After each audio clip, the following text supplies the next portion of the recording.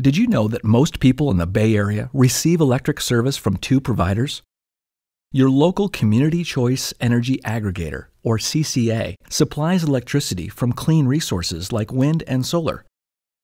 And PG&E maintains the power lines and delivers electricity to your home or business. That's how your community ensures that we get access to the cleanest energy possible. If you have solar or are considering getting solar power, you can receive bill credits through a program called Net Energy Metering, or NEM. What's great about NEM is that excess energy you produce beyond what your home or business is using gets reflected as a credit to your account. These credits can offset charges for electricity you use in the future. If your solar panels produce more power than you use on an annual basis, you can even be paid for it.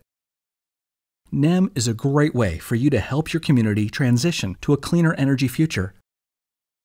NEM program rules differ between your local CCA and PG&E, so we'd like to point out similarities and differences to help you better understand how your solar benefits are reflected in your electricity bill. First, let's talk about the similarities. If you're installing solar, you'll need to get approval from PG&E. They'll contact your local CCA when your system goes live. You don't need to specifically enroll in your CCA's NEM program. That should happen automatically if you're already a CCA customer. Information on your solar system will appear on a single monthly electricity bill from PG&E.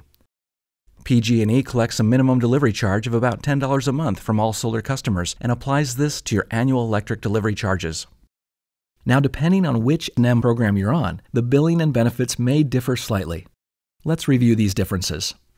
As a CCA customer, you'll see a dedicated page on your PG&E bill with your CCA charges and credits, including any credits for excess generation. PG&E only service customers won't see this. Most CCAs settle charges monthly. This means that if you produce more electricity than you use that month, you'll get a credit. If you use more electricity than you produce, you'll be charged if the amount exceeds your credit balance. If you're on PG&E only service, they'll settle that net difference annually.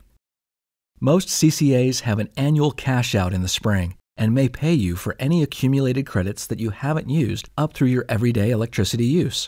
Some offer a more generous cash out than PG&E, and some have special incentives for low-income or other customer groups. Check with your local CCA for details on additional NEM benefits. Still have questions about solar billing or what being a solar CCA customer means for you? Contact your local CCA to learn more about program options and benefits and how to make the right choice for you. Together, we can ensure a clean energy future for everyone in our community.